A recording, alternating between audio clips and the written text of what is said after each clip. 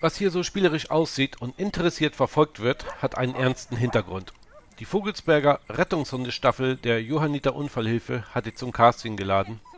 Und bei dem schönen Wetter am Sonntag waren tatsächlich zwei Dutzend Vierbeiner mit Herrchen oder Frauchen auf den Hundeübungsplatz in Lauterbach gekommen. Da war wohl fast jede Rasse bei. Gesucht unter ihnen der Haushund, der auch für Rettungseinsätze geeignet sein könnte. Ausbilderin Wiebke Möller führt ein der Hund da schon mitbringen. Das lernen die aber auch. Es gibt natürlich Hunde, die sind stumm wie ein Fisch.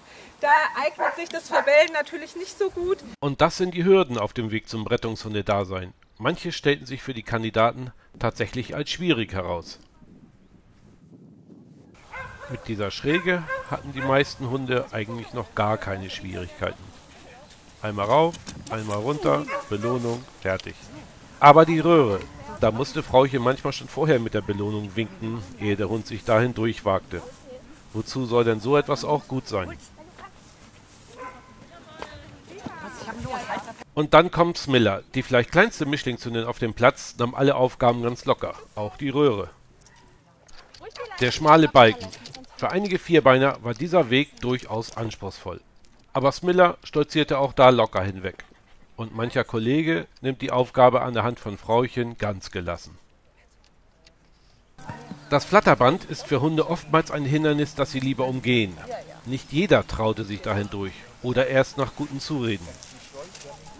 Eine Ausnahme war wieder Smiller. Manchmal ist doch gut, wenn man so klein ist. Sehr fein.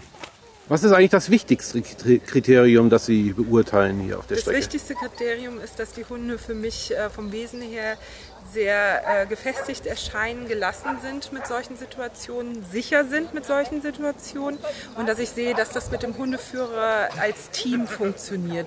Ähm, es ist nicht schlimm, wenn die Hunde das bei der ersten Runde zum ersten Mal machen und noch gar nicht können und man aber sieht, der Hund vertraut dem Menschen und für seinen Menschen tut er sich dann auch überwinden, um das Ganze dann schlussendlich zu schaffen.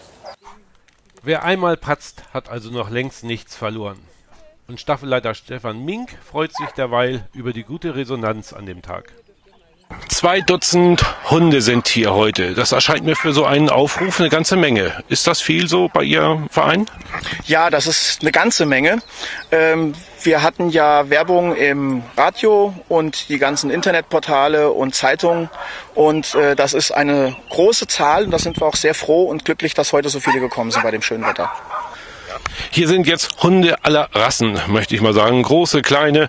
Äh, gibt es eigentlich den typischen Rettungsstaffelhund oder gibt es, kann das im Prinzip jeder Hund? Den typischen Rettungshund gibt's eigentlich so nicht. Man sagt, dass alle Gebrauchshunderassen, zum Beispiel Retriever, Border Collie oder solche Sachen, äh, die Veranlagung ja an sich schon mitbringen. Aber jetzt den richtigen, den Rettungshund, den gibt's eigentlich so nicht. Das muss man immer so entscheiden. Also wir haben bei uns in der Staffel sind Mixer dabei, wir haben Retriever dabei. Da ist eigentlich auch eine bunt gemischte Truppe. Unsere kleine Heldin Smiller holt sich inzwischen nach getaner Arbeit aus ob aus ihr einmal eine kleine Retterin wird?